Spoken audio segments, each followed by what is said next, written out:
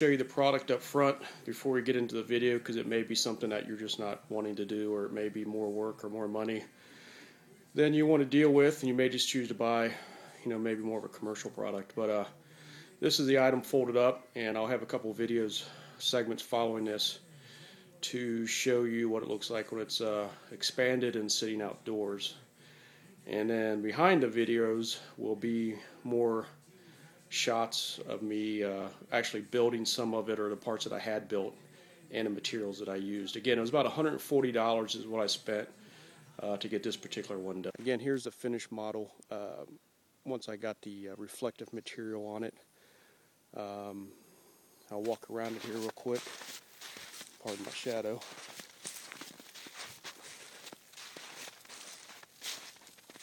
And again, you can see the uh, material in the back of it there.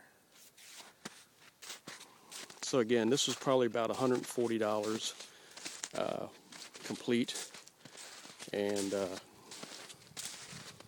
I think I'll have a lot of fun with it. So, decide to build one, let me know. Send me a picture. If you got any improvements, let me know. Thought maybe I'd give you one more view of it in a slightly different location. Uh,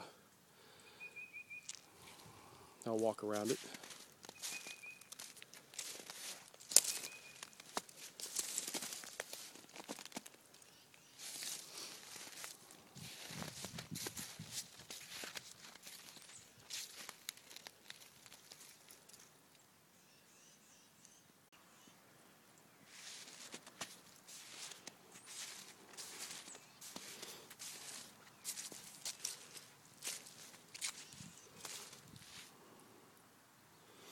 What I have purchased is four sheets of two by four foot Luan board. It's approximately, I don't know if you can see here on my iPhone video, the thickness of that stacked up, four of those.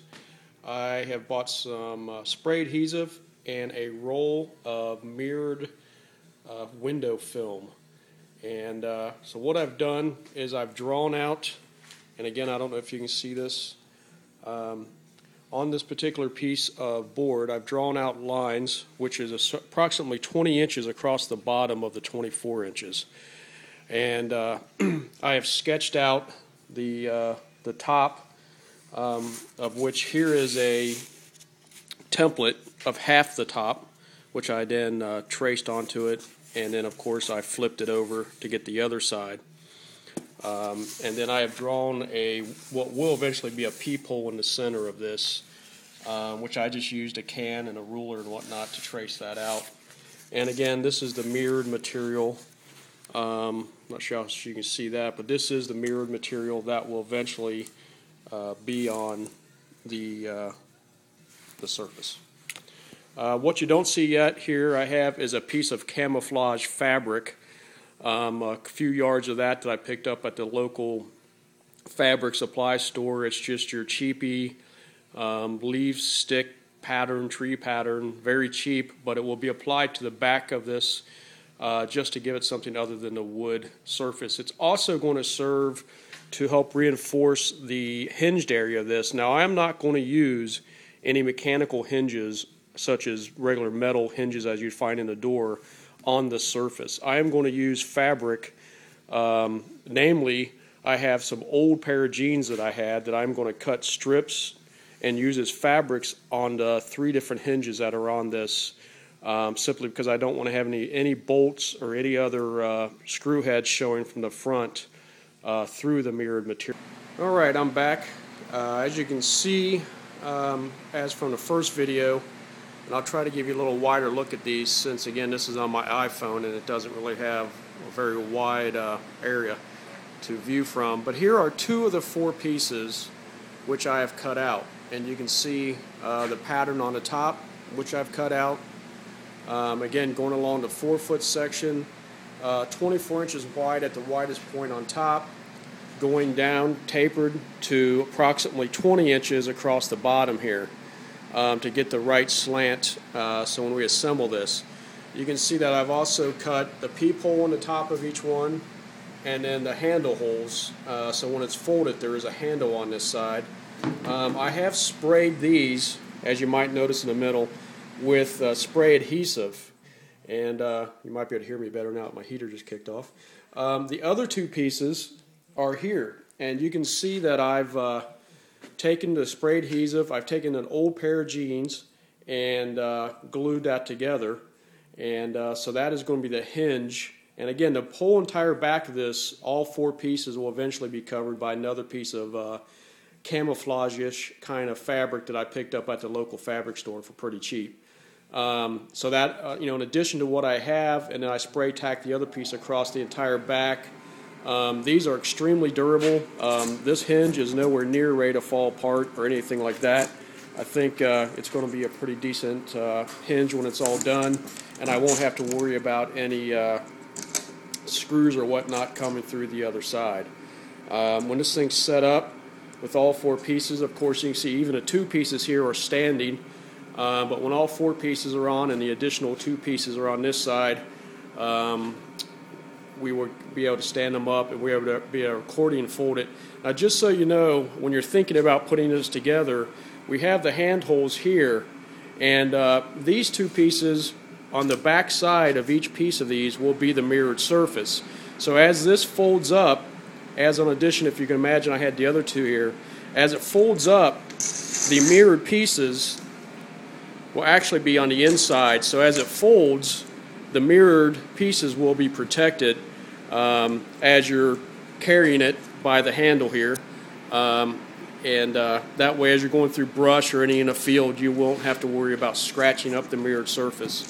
And then, of course, it'll just be a matter of uh, spreading it out and setting it up. And uh, so that's kind of it at this point. I'm going to continue to uh, get the other two pieces glued together. And once those are together, I'll pick up on the video and show you all four pieces with the, uh, the uh, makeshift hinges I got out of denim blue jean and then, of course, eventually, you know, these sides will have the mirrored uh, mylar on the front of it. Okay, I'm back again here. Uh, I'm getting ready to glue up this last center uh, blue jean hinge that goes in the very center uh, of this particular piece. But I want to show you something and emphasize, just so you know, because uh, I can see where this could be a potential problem point.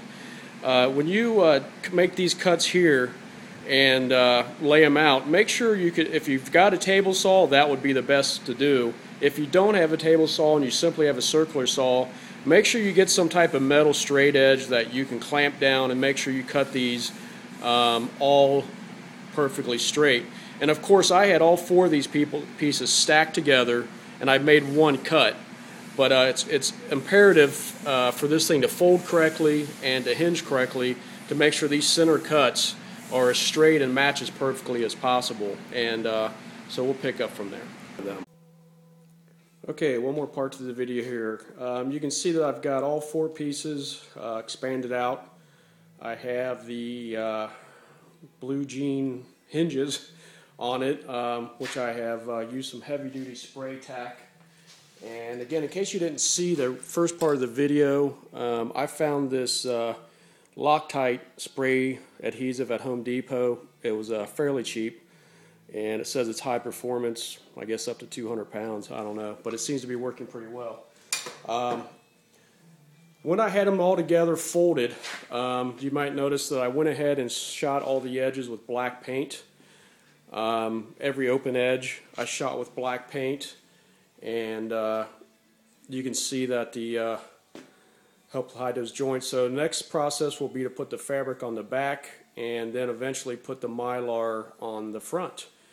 And uh, if I had someone hold my camera, I would fold this up for you. Uh, but since I don't, um, I'll have to wait. But essentially, uh, if you've seen any of the uh, commercial products similar to this one, it folds in the exact same manner very easily. And then you have all your handholds lined up and you can carry it.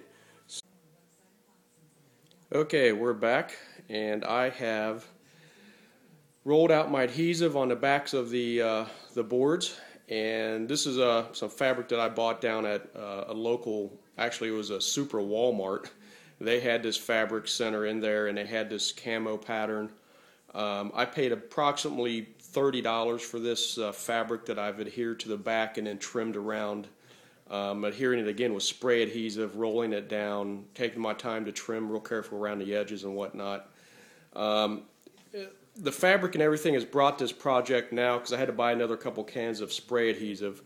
Um, up to about $140. Now, if you wanted to get creative with some rattle cans of spray paint, you probably could spray paint the back of this and um, you know maybe save yourself 20 bucks or so. Um, I just like the fabric plus the fabric running across those joints again where I already had the fabric uh, hinges um, just helps to reinforce the whole back. And again, you can see that uh, you know I now just need to apply the foil to the front and um, we'll be almost ready to go. Um, other than maybe uh, attaching some tie downs once it's complete.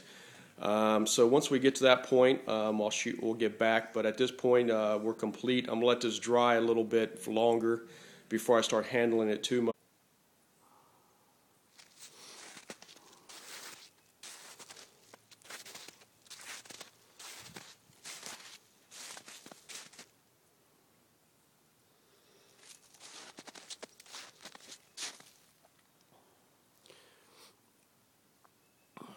So here's a look at the final blind once I got the uh, reflective material on the front. Um, again, it's not a perfect model. Um, it's got a few wrinkles in it here and there, but I think from the distance, um, and you see walking around it in this environment, um, it's pretty well concealed. And uh, I think anything walking up on it, you know, may have a hard time figuring it out. Who knows? Again, here's the finished model. Uh, once I got the uh, reflective material on it.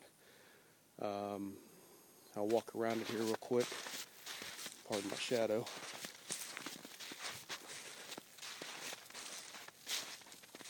And again, you can see the uh, material in the back of it there. So again, this was probably about $140 uh, complete. And uh, I think I'll have a lot of fun with it. So, decide to build one, let me know. Send me a picture. If you got any improvements, let me know.